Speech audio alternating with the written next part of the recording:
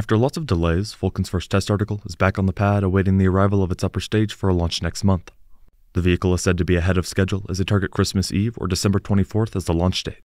In other news, Rocket Lab has received FAA authorization to resume Electron launches from LC-1. This comes after the company's most recent Electron launch that had an anomaly, losing both the vehicle and the payload.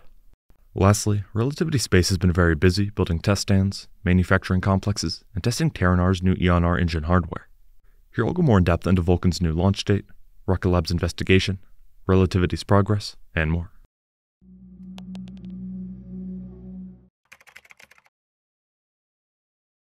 Months ago, United Launch Alliance's new vehicle, the Vulcan Centaur, was nearing its first launch when a separate upper stage experienced a test anomaly. The explosion revealed a weak point in the tank dome, and the company determined that it needed to be fixed. The upper stage was destacked from the first and shipped to the factory for upgrades. For a while now, the company's been aiming to launch in December, but we just got an official launch date. Yesterday, ULA tweeted and confirmed that the first launch will happen on December 24th. As far as the exact whereabouts of this upper stage, Tory Bruno, ULA CEO, tweeted saying, Still running ahead of schedule. Here it is in the finishing station. Once the stage arrives and is stacked once again on the first stage, we can expect some additional testing before it's approved for launch. This will include another wet dress rehearsal, even though one was completed back in March. During the test, they will fill the Vulcan first stage and Centaur 5 upper stage with cryogenic propellant on separate days to validate performance at the stages, Vulcan Launch Platform, Space Launch Complex 41 facilities, and ground support systems.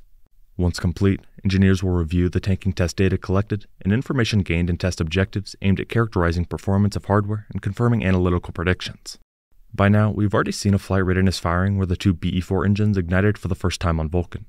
This flight will also be the first time Blue Origin's BE4 engine hardware launches. Up until now, the engines have only been tested on the ground after many years of development. With Blue Origin ramping up production, they really need a successful launch without any issues. Focusing back on the upper stage, an investigation after the test failure eventually found that the leak originated in the forward dome of the tank, which is made of very thin stainless steel, near a door at the top of the structure. A very detailed finite element model of that part of the tank revealed a stress riser, or intensification of loads, because of the complicated geometry around that part of the dome. More importantly, they realized that this weakness was not unique to the specific test article, but all the upper stage forward domes. Thankfully, the necessary fix was not extremely intensive, and within just a few months, the company was able to get Vulcan's upper stage complete and ready. This is important considering Vulcan has a lot riding on it and truly is the future of ULA. They highlight that the vehicle can be built in less than half the time as its predecessors and launched at a much higher tempo. More than 70 Vulcan launches are currently on the manifest, including 38 launches to deploy a majority of Amazon's Project Kuiper. Another 20 to 30 missions is the U.S. Space Force's number one offer in the National Security Space Launch Phase 2 procurement and the orbital delivery of Sierra Nevada Corporation's Dream Chaser reusable spaceplane on cargo resupply missions to the ISS, all of which are relying on this first flight in December to go smoothly. Rocket Lab's launch operations have been put on hold for over a month now after the last Electron launch failed to reach orbit on September 19th. During the flight, the upper stage engine appeared to shut down moments after ignition. Here you can see the sparks and the drop in telemetry along with the video feed. The failure resulted in the loss of a Capella Space synthetic aperture radar imaging satellite. Right after the anomaly, Rocket Lab CEO Peter Beck tweeted saying, Tough day. My deepest apologies to our mission partners, Capella Space. Team is already working on root cause. We'll find it, fix it, and be back on the pad quickly. It had been a while since an electron anomaly, but followed the theme of what looks to be an issue with the upper stage, which past anomalies also experienced. Two days ago on the 25th, we got an update from the company in another tweet that said, we've received FAA authorization to resume Electron launches from LC-1. We expect to complete the full flight investigation report in the coming weeks and currently anticipate a return to flight later this quarter with corrective measures in place.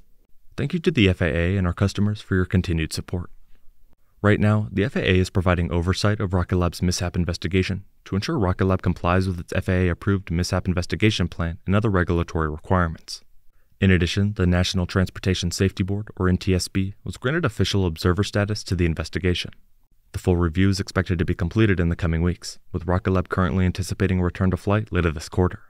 Peter Beck also said, after more than 40 launches, Electron is a proven, mature design with a well established manufacturing process behind it, so we know the fault was going to be something complex and extremely rare that hasn't presented in testing or flight before.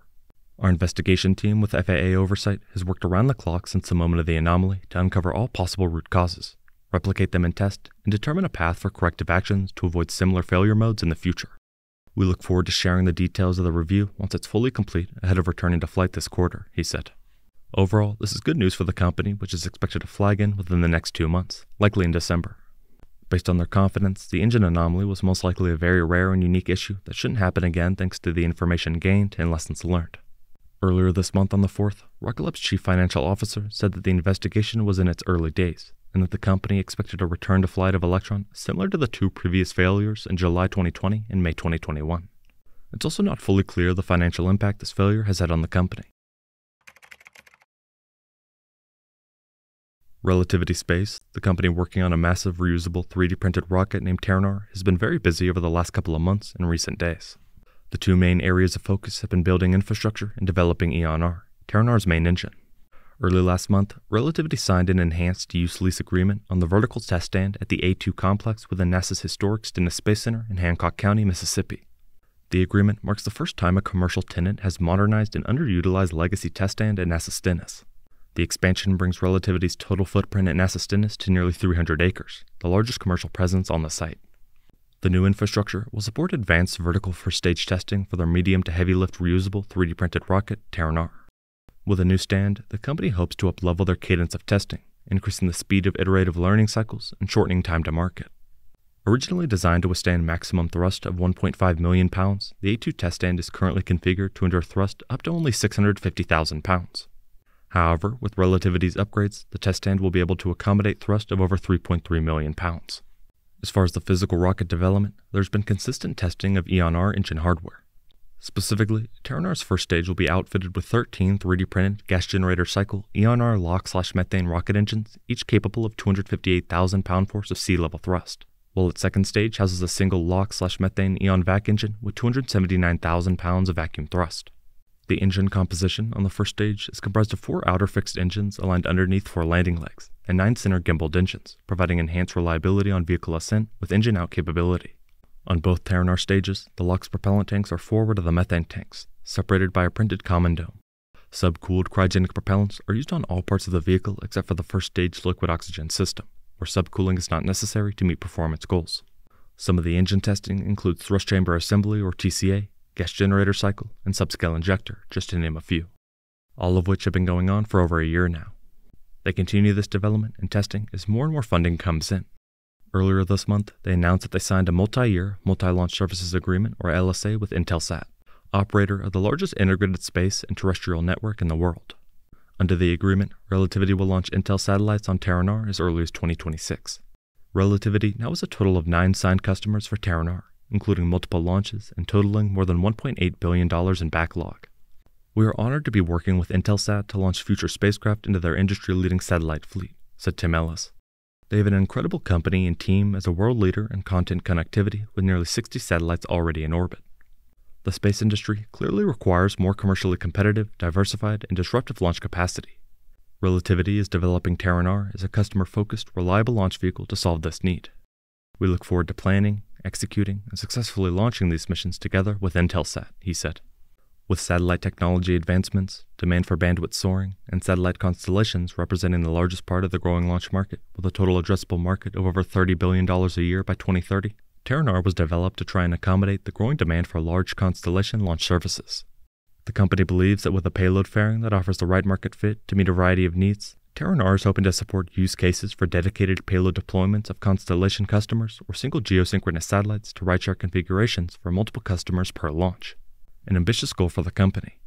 At the start, Relativity used Terran 1 as a test article, and after its first launch, retired the vehicle to fully focus on Terran R. As of right now, Terran R is set to launch from Launch Complex 16 at Cape Canaveral Space Force Base starting in 2026. Vulcan's first launch date has been officially set, and it's less than two months away on the 24th of December. This maiden flight is very important, with the amount of missions riding on the vehicle's success. At the same time, companies, including Rocket Lab and Relativity, are working on their own technology in place within the market.